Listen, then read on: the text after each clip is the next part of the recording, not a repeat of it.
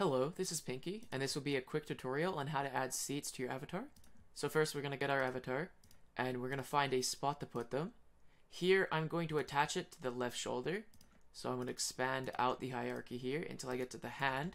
Now here, what I want to do is create a new empty, and for this game object, I'm going to rename it seat, so that I'm able to identify it later. And now we have to add two components to this. The first one will be the VRChat, or VRC, and it will be called the station. So right here. And then the second one will be the collider. So I'm going to pick a box collider here. So uh, you can mess around with the station script uh, and see what you like. For now, I don't want to force them into any animation, and I want to have them seated, so I'm not going to change anything here. And now for the box collider, as you can see, it's quite big and I want to change this. So what I'm going to personally do is I'm going to press R and then I'm going to go and resize it. So I'm going to move this a bit till I find it about right. And I'm going to go here, Control C, and then Control V it here. And then for the Y, I'm going to just grab this blue one and squeeze it down to right about there. So it covers the hand. So this will be the little box that shows up when somebody like clicks on your avatar and tries to sit on it. So there it is on your hand. Now what we're going to do next is we are going to create an animation. So we're going to click on our avatar. Here, uh, we're going to just quickly for demonstration purposes, in the controller, you're going to go to your FX layer that you're using down here. So it has the match, so you can add it to the FX layer. Now you go down,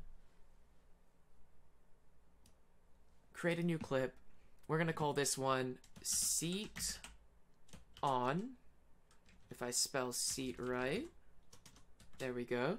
And we're going to record the animation, and with the seat, we're going to click it on and off, and it should be on at the end. And then scroll down, create a new clip. We're going to call this seat off, and we're going to do the exact same, except for we're going to make sure that it's off at the end. So as you can tell, it is off here, and over here it is on.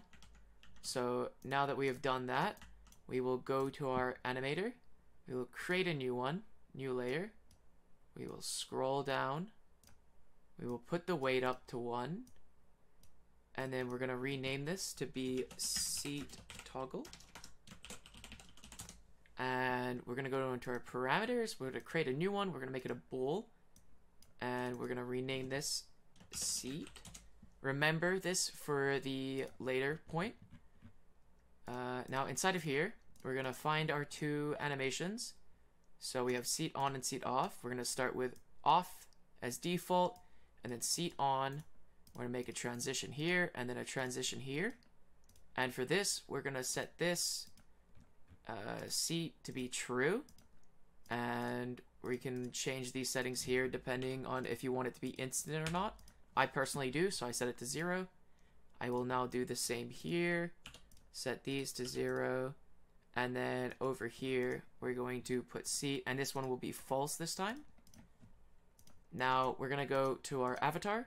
We're gonna scroll down to our parameters. We're gonna click here, and we're gonna create a new parameter.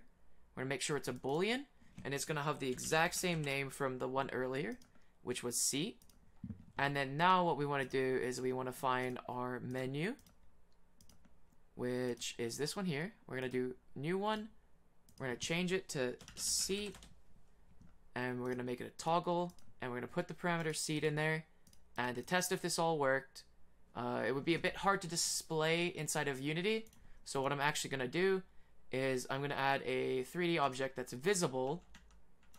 As you can see, it's now visible here. And I'm going to turn this on.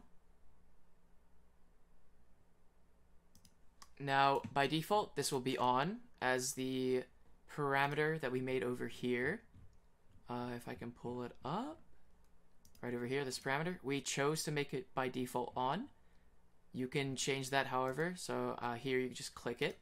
And to make sure that the toggle worked, I will pull up the emulator, I will go into tutorial, and I will click seat off. And as you can see, the collider is no longer there, along with the visual representation, which is the cube that I put. And this, as again, as I said, is completely unnecessary. you can just delete this and it will work the same. But um, yeah, thank you for watching.